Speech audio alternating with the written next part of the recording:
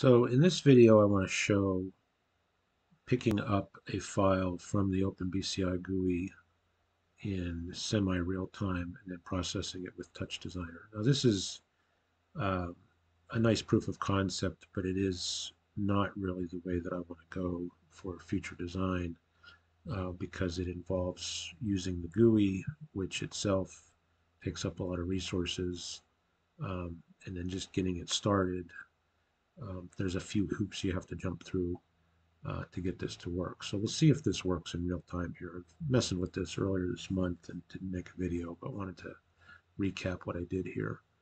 So um, I've already got the OpenBCI GUI connected to my board, uh, Cyton board, and I'm going to start this data stream.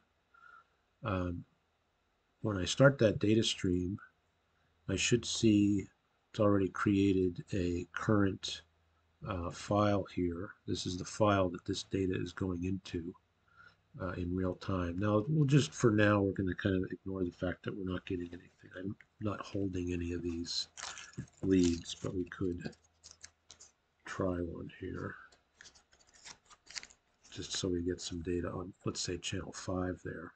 So that's real data coming through, and it's going into this file.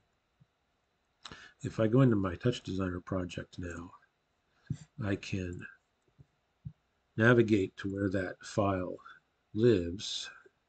And each time I restart the OpenBCI's GUI, it's going to be a different file. So I've got to do this every single time. So now I can get this file and I can bring that into TouchDesigner, hopefully without anything freezing. There we go. Um, so now it's getting that file, and that file is going to be continually added to um, as we're accessing it here. So that's why I say it's semi-real time because there's going to definitely be some delay by the time the file's saved and the latest save of that file being picked up by TouchDesigner.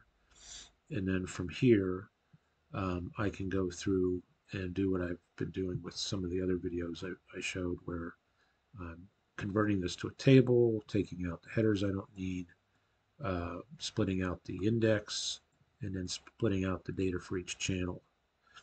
Uh, beyond this, this is really just a lot of experimenting, uh, trying to do something with the data, which I've done more with some of the other processes I've demonstrated. But for the most part, uh, just showing that that data could be picked up from a file that is coming off of the GUI application is really what I wanted to show.